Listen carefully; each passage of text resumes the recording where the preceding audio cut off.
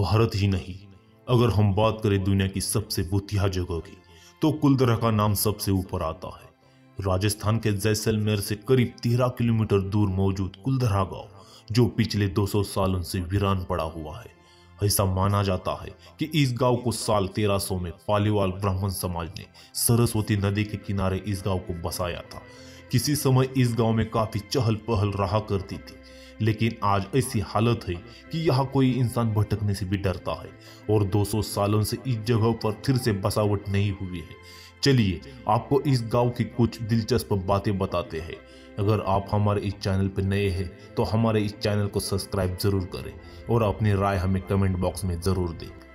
कुलदरा गाँव मूल रूप से ब्राह्मणों द्वारा बसाया गया था, जो पाली क्षेत्र से जैसलमेर चले गए थे और कुलदरा गाँव में बस गए थे।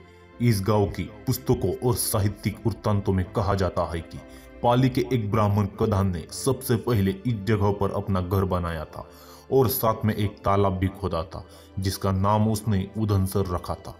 पाली ब्राह्मणों को पालीवाल भी कहा जाता था। लोकप्रिय मिथक के अनुसार 1800 के दशक में गाँव मंत्री सलीम सिंह के अधीन एक जागीर या राज्य हुआ करता था, जो कर इकट्ठा करके लोगों के साथ धोखाधड़ी किया करता था। गाँव पर लगाए जाने वाले कर की वजह से यहाँ के लोग बेहद परेशान रहते थे। ऐसा कहा जाता है कि सलीम सिंह को गाँव के प्रधान की बेटी पसंद आ गई और गाँव वालों को इस पर धमकी दे डाली। अगर उन्होंने इस बात को विरोध करने की कोशिश की या रस्ते में आए तो वह और ज़्यादा कर वसूल करने लगेगा। अपने गाँव वालों की जान बचाने के साथ साथ अपनी बेटी की इज़्ज़त बचाने के लिए मुखिया समेत पूरा गाँव रातों रात खाली हो गया। गाँव वाले गाँव को वीरान छोड़कर किसी दूसरी जगह पर चले गए। ऐसा कहा जाता है कि गाँव वालों ने जाते समय इस गाँव को एक शाप दे दिया था कि यहाँ आने वाले दिनों में कोई नहीं रह पाएगा और ये गाँव फिर कभी नहीं बसेगा। कुलधरा गाँव, अब भारतीय पुरातत्व सर्वेक्षण द्वारा सुरक्षित तरीके से रखा जाने वाले ऐतिहासिक स्थल है। पर्यटक यहाँ घूम सकते हैं, और उस समय के दौरान ऐसा क्या हुआ था, जैसी झलकियाँ आपको यहाँ देखने को मिल जाएँगी।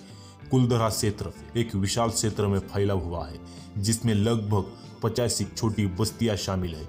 गाँवों की सभी झोपड़ियाँ टूट चुकी है और खंडहर हो चुकी है। यहाँ एक देवी का मंदिर भी है और अब वो भी खंडहर हो चुका है। मंदिर के अंदर एक शिलालेख है, जिसकी वजह से इतिहासकारों को गाँव और इसके प्राचीन निवासियों के बारे में जानकारी इकट्ठा करने में मदद मिली है।